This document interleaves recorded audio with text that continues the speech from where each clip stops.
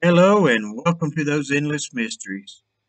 Today we will be going over a dogman sighting. Now this sighting comes out of Washington from multiple dates. The witness states that his first sighting of this creature happened when he was just a young boy. He had just went to bed. Now while laying in bed trying to fall asleep, when he looked out his bedroom window, now his window faced a backyard, saying that this was his first time seeing this creature. He says that him and his brother had always felt nervous looking out this window. That now he knows why they always felt like that. Saying that it was hard not to look out of it sometimes. That his bed faced this window, but that this night was different than just a feeling this night he was seeing a creature looking into this window. It was looking right at him, with it only being about three feet from his window. He says that this creature had large yellow eyes. The next thing the witness noticed was this creature's long snout, while noticing its huge teeth. Its canines were huge to a boy of his age. Even though this creature did have a long snout, it still kind of had a human look to it. It also had black fur covering its body and face. Now, as he was laying there very scared, he said that this is when the creature noticed him looking at it.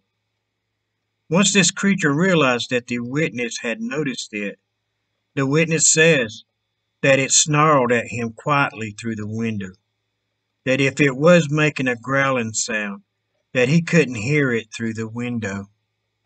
Then he says that the both of them was just staring at each other. This is when the witness says he started pulling the covers over his head very slowly. He says he laid there crying for what seemed like forever for a young boy. Then he ran to his parents' room, telling them of what he had just seen with his parents telling him that he had just had a bad dream.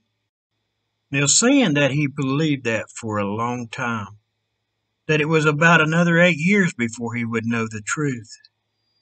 Now he was in his sophomore year at high school when his brother and a friend was with him fishing, saying that there is a creek there that surprisingly has some good decent fish in it. The creek had a natural bridge across it as well, due to a tree falling across it a few winters back. The witness and his friend had went on down the stream. His brother stayed fishing alone. Now his brother loved peanut butter, the witness says. That this day he had brought a huge scoop of peanut butter on a plate with some Ritz crackers out with him. He had to go to the bathroom, so he crossed a tree to the other side where there is a little better cover.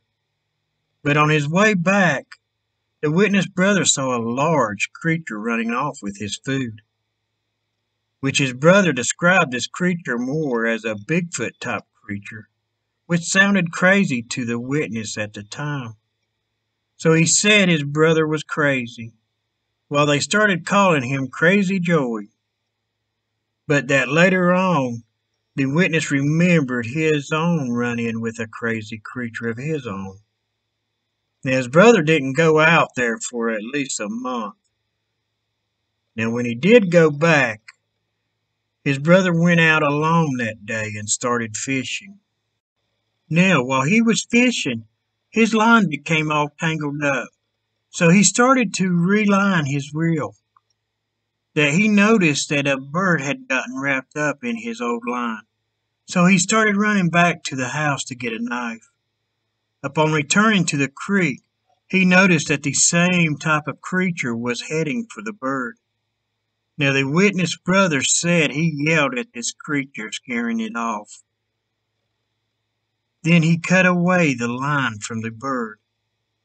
This time the creature's description was more to the witness sighting which this time the witness said that he did believe his brother, saying that he has had two other sightings of strange looking wolf type creatures over the years.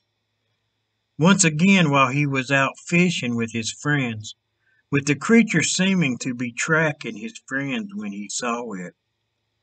Saying that this one was gray, saying that he is five six and that the wolf type creature stood over his waistline on all fours.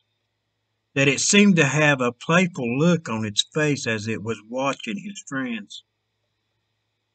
Then the witness says that again him and his creature locked eyes leading to another stare down, with the only difference being that this creature was on all fours this time. Saying that this creature then took off. Then the witness said that he gave chase, that this creature ran out into an opening, that on the left was a couple of ponds, while on the right was a small prairie, saying that he thought that this creature had ran towards the prairie but once he had made it there, this creature was gone. Then the next time he saw this creature was with his brother again. This time this wolf-type creature was solid black, that it seemed to play with them, that he would run from them and then stop and let them close back upon it. Then it would take off again. The witness said that this creature did this about five times with them before it finally took off for the last time, saying that the area is bad for coyotes, that one of his friends even got cornered once by four coyotes. Well, I don't think they only have a coyote problem. Sounds like to me that they may have a wolf problem as well in that area. I have seen a few videos of huge wolves. So could have they just been seeing some big wolves? At least that's what I'm leaning towards on this one. The first sighting on this one was strange, but the witness was very young at the time. I do think that these wolves have something that seems to be different about them, like their size for one, but they did have a couple of sightings with them being bipedal, but the last couple has them on all fours. But what to make of it all? for the witness not to think that they were wolves, instead of being some kind of creature, which they are more and more sightings of these huge wolves, which dire wolves is said to have went the way of the dinosaurs, or did they?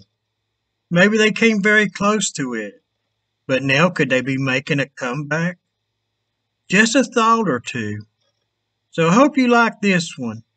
And don't forget to subscribe and hit that notification button so you can keep up with all of our latest videos. And thanks for watching those endless mysteries.